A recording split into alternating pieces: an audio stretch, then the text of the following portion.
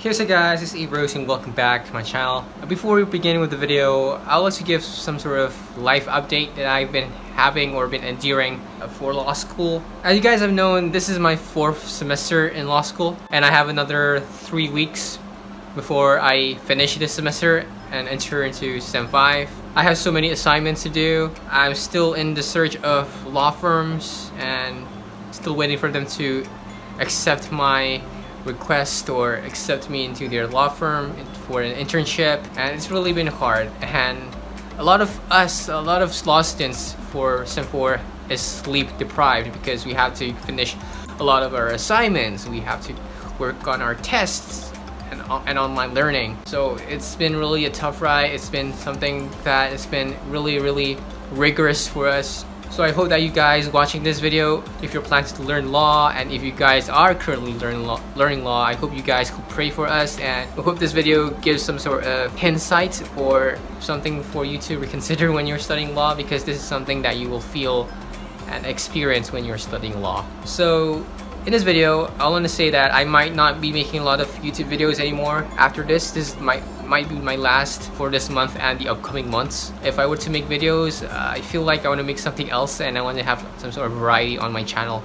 Maybe make horror videos or perhaps make videos related to current issues and something that I've always wanted to do and perhaps if COVID ends I'll make videos about me traveling the world. In this video we are going to be talking about some of the tips or yeah study tips that you guys could learn or could use when studying law. Number one, ramai orang kata yang macam kalau kita belajar law ni, kita kena selalu speaking ah, selalu kena faham bahasa Inggeris. Well, uh, on one side, it's not always the case. It's not always the same bukan selalunya kena speaking or cakap bahasa Inggeris. Tapi yalah tapi maybe dalam kelas in class lecturer akan speak in English maybe you akan cakap rojak. But then it's not don't necessarily have to understand everything in English because you can understand it in your own way. As long as you understand the concept of the law what the law wants to say studying law they don't really focus that much on the grammar or literature inside your examinations or your assignments yes, it's true that grammar and vocabulary is important, but for me, I don't think we should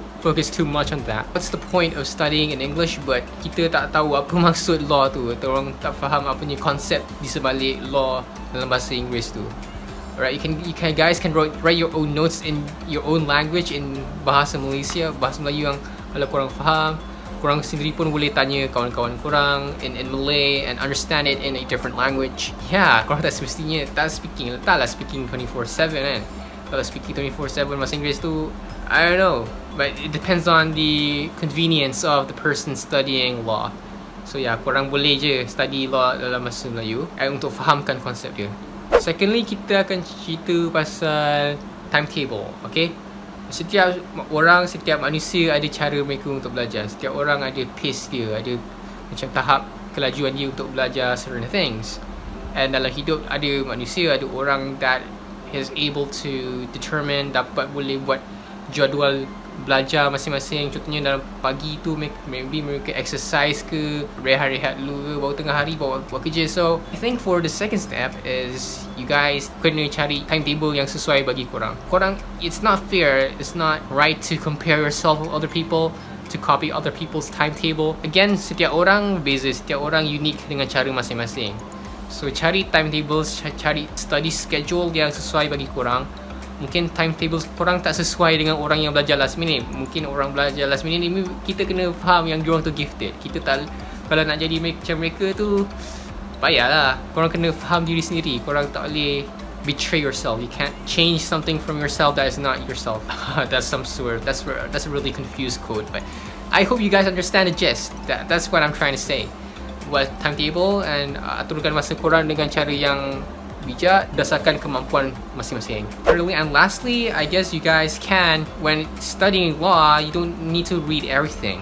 Because kalau korang baca case law, kalau korang baca law report kan, dia punya pages tu berlambak gila. Ada boleh sampai 100 pages, ada boleh kan. Kalau last minute sangat pun, korang sebenarnya tak tak spesifiknya kena kena baca everything. Kita punya law report, we have the help part. And memang yes, memang betul yang lecturer cakap jangan baca help part je. Sepatutnya kita kena baca the whole case. Tapi kalau dah last minute and kita sebenarnya memang tak faham, it's not uh, for me I think it's not wrong for us to look at the help part because bila kita tengok kat help part, kita boleh tengok and cari paragraph dia yang explain part help tu. So bila korang pergi ke help, korang tengok kat ayat lalas tu dia akan bagi tahu page dan korang kena pergi kat page tu baru dia explain lagi mendalam. So korang tak payah tak pesannya tak payahlah baca the whole case because when you look at the help part, help tu ada paragraph dia dan merujuk kepada explanation principle law tu ataupun benda yang penting saja dalam case tu. That is the last tip and perhaps the bonus tip that I could give in this video is that create your own notes. I don't know if I mentioned this in the previous videos but creating your own notes is really important. Dia sama macam tulis yang macam faham dalam bahasa Melayu tu. Bila korang belajar dalam bahasa lain atau faham dengan cara sendiri, korang pun boleh sebenarnya kan buat notes masing-masing. Macam personally, I think in the previous videos, I've mentioned that I wrote my own notes on on Word documents on my laptop.